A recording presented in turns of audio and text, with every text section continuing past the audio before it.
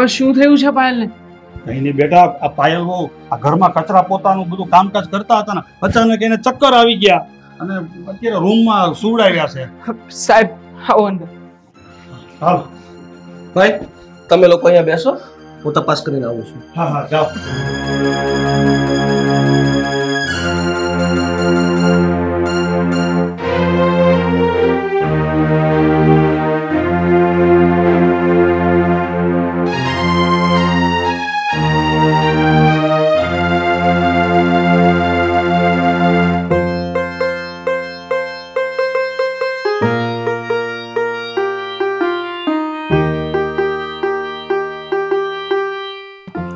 Doctor સાહેબ શું થયું છે પાયલને ભાઈ મને તપાસ કરી લેવા દે પહેલા પછી કહું.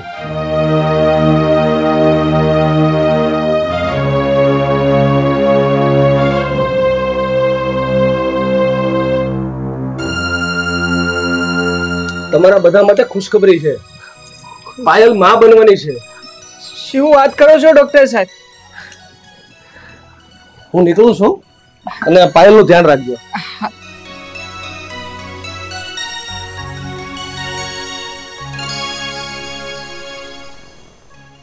પાયલ. પાયલ ઉઠ. પાયલ. પાયલ સાંભળ્યું તે? ઉઠ.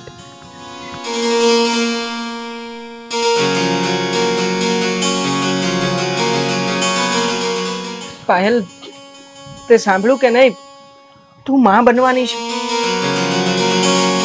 હું હું બનવાની છું? આ પાયલ ડોક્ટર સાહેબ હમણાં જ કહીને ગયા છે. તું માં બનવાની છે ભાઈ. મને તો ખબર જ ન હતી કે મને અચાનક શું થઈ ગયું. બસ ચક્કર આવ્યા અને હું પડી ગઈ. સારું પાયલ હું હવે ઓફિસે જાઉં છું. હા ઓફિસનું કામ અધૂરું રાખીને આવ્યો હતો. પણ હા તું હવે તારું ધ્યાન રાખજે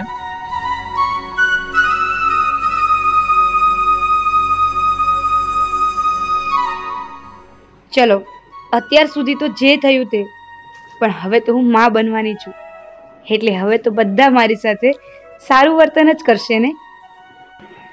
હો મહારાણી આમ હજી હું બેઠી છું પથારીમાં? રસોડામાં જઈને રસોઈ બનાવો? હા મમ્મી. મને થોડું માથું ભારે ભારે લાગે છે. એટલે હમણાં હું થોડી વારમાં જાઉં છું. હવે થોડી વારમાં હું?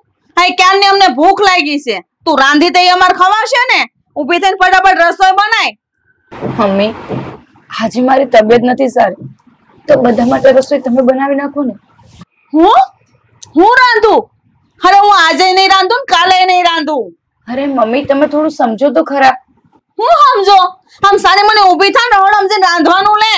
મને સમજાવવા આવી તે.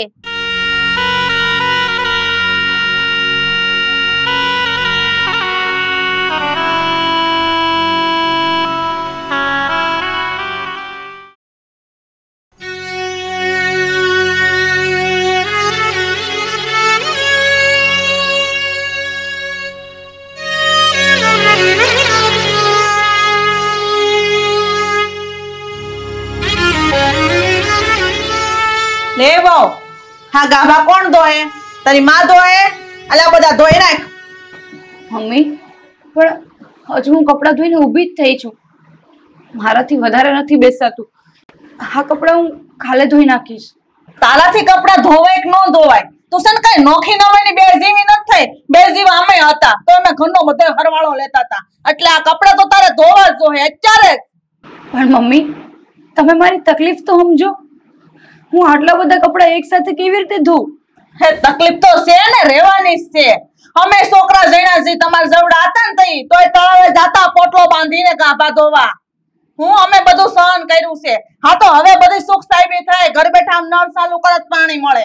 આ તો પેલા બેડા ભરીને ભરવા જવું પડતું હતું. આમ નતું થતું બધું. મમ્મી, અત્યારે તો વોશિંગ મશીનનો જમાનો છે. તેમ છતાં હું બધા કપડાં જાતે બેસીને ધોઉં છું.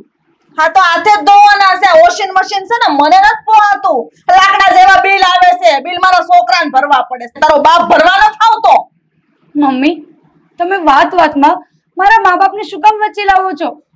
તમે જેમ કહો છો એમ તો હું કરું છું. કપડાં પણ હું ધોઈ નાખીશ. તો ધોવા જ પડશે.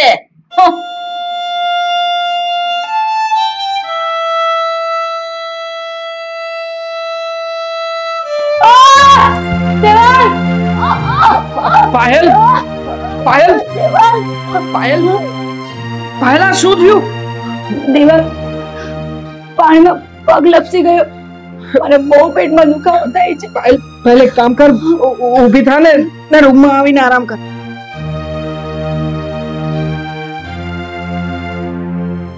ડોક્ટર ને બોલાવો બહુ દુખે છે મને. પાયલ ફોન કરું છું હમણાં.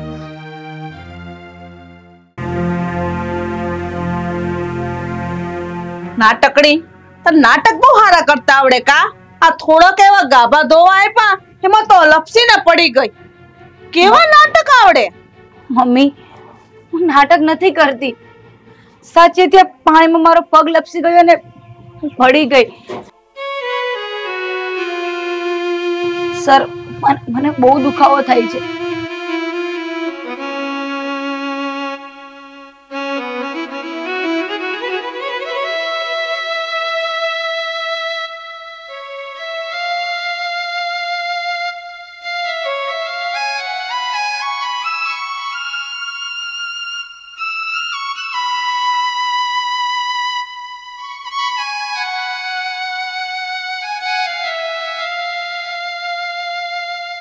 ડોક્ટર સાહેબ, શું થયું છે?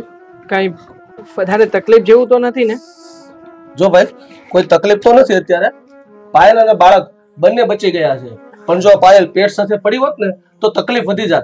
પાયલને અને બાળકને બંનેને બચાવવું મુશ્કેલ પડી જાત. હું આ મેડિસિન લખી દઉં છું. એ જરા આપી દેજો એને. તો સારું થયું કે પાયલને પાછળના ભાગે વાગ્યું છે. એટલે વાંધો નથી આવ્યો.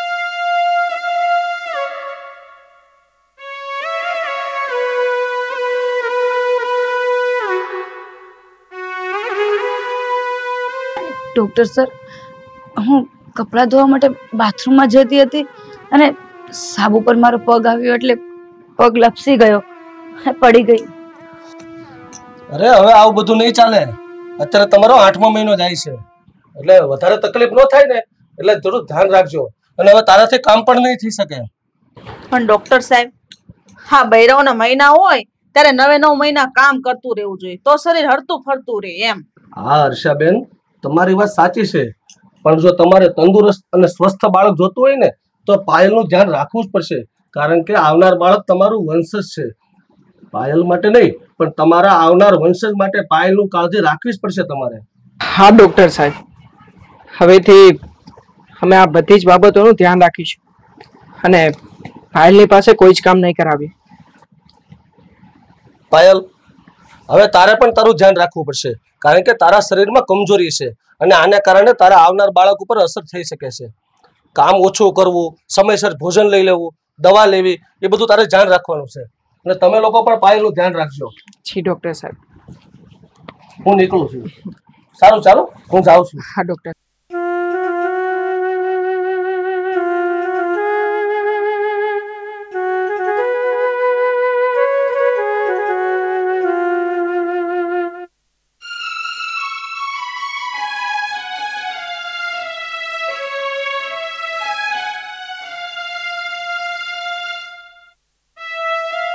જોઈ લીધું ને તે?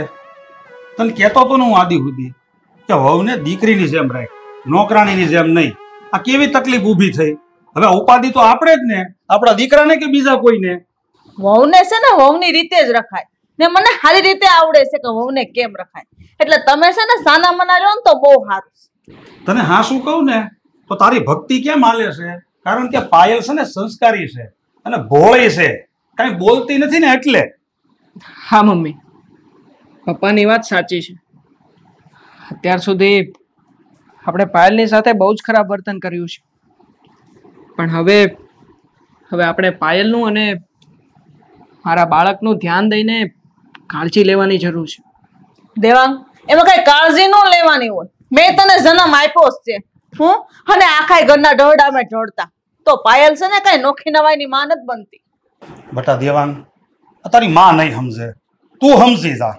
તારી માના મનમાં એવું છે કે અમે જે ઢળડા ઢળ્યા ને એ ઢળડા અમારા છોકરાને વહુને ઢળવા જ પડે. પણ એવું મનમાં ન રખાય. આશા એવી રખાય કે જે અમે દિવસો જોયા ને એ અમારા છોકરાઓને ન જોવા પડે. પણ તું નહીં સમજ, તારે, તારા કામનો નથી આ. બટા દેવાંગા સાહેબે જે દવા લખી દીધી ને એ દવા તો લઈ આવી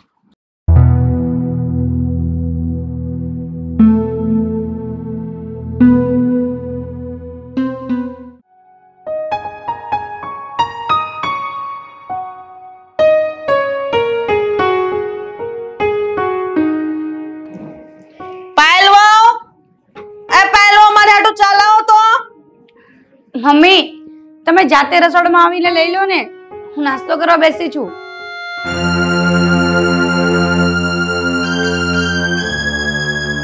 એટલે? આ તું હોય નાસ્તો કરવા બેહી ગઈ હું ક્યારની અંદર ચાની રાહ જોઉં છું કે હમણાં ચા લઈને આવશે? મમ્મી મને બહુ ભૂખ લાગી હતી એટલે હું નાસ્તો લઈને બેસી ગઈ. એક દી ચા નાસ્તો મોટો કરીને તો મરી નહીં શકાય. મમ્મી હવે મારે મારું પોતાનું અને મારા બાળકનું ધ્યાન રાખવાનું છે. હવે ખાલી હું મારું જ કરીશ. હું બીજા કોઈ માટે કંઈ નહીં કરું. કેમ કે હું અગરની વહુ છું. નોકરાણી નહીં. હું કીધું તે? હું મળી તું? હે? જુઓ મમ્મી હું કેટલાય સમયથી તમે જેમ કહો છો ને એમ કરતી આવી છું. તમે જેટલું પણ કીધું ને બધી તમારી વાત સાંભળતી આવી છું. એક વહુ તરીકેની બધી ફરજ મેં મારી નિભાવી છે. પણ તમે તમે એક સાસુ તરીકેની ફરજ ચૂક્યા છો. તમે આ ઘરમાં મને વહુ નહીં, પણ નોકરાણી સમજો છો. એક નોકરાણીની જેમ આ ઘરનું બધું જ કામ મારી પાસે કરાવો છો તમે.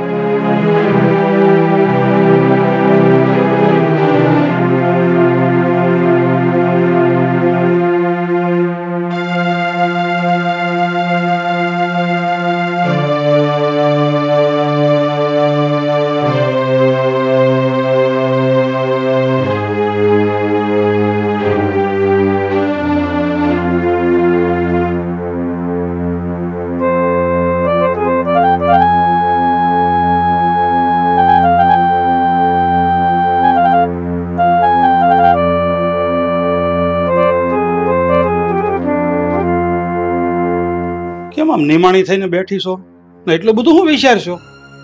આ વહુ ને. કેટલી મારી હામું બોલે છે? કઈ માપ જ નથી રહેતું એનું. હા તમે દેવાંગે થઈને ને મોઢે સડાવીશ. દેવાંગની માં આ તું જેવું વિચારશો ને એવું કાંઈ નથી. પાયલ બહુ ગોલા નથી. તે હાથે કરીને જ તારા પગ ઉપર કુવાડો માર્યો છે. કારણ કે તું એક હાહુ તરીકેની ફરજ સૂકી ગઈ છો. તો એ એક વહુ તરીકેની ફરજ મૂકવા માટે મજબૂર થવાના જ છે. તમે જ્યારે હોય ત્યારે મને સમજાવો કા? હા, અમને આમ જ ભવના ઉપરાણા લીધા છે. તને હા શું કહું ને? તો આપણે છે ને કોઈ પણ માણસને એક વેચ નમીએ ને, તો માણસ આપણી સામે એક હાથ નમે પણ તારે તો બધાયને હારે રૂઆબથી જ રહેવું છે. તું નહીં સમજ ને તો આ ઘરમાં તારું કોઈ માન નહીં રે.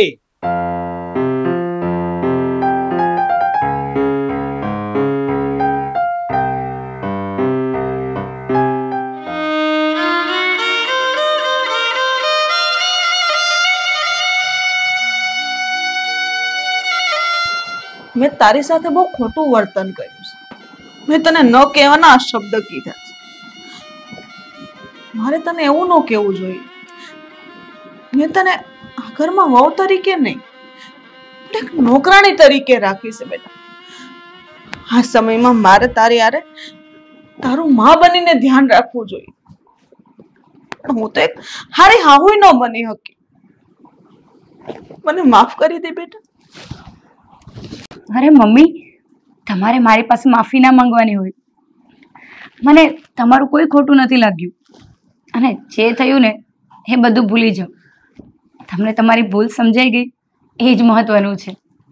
હાસ્તી તું આ ઘરની વહુ છું. આ ઘરની નોકરાણી નહીં.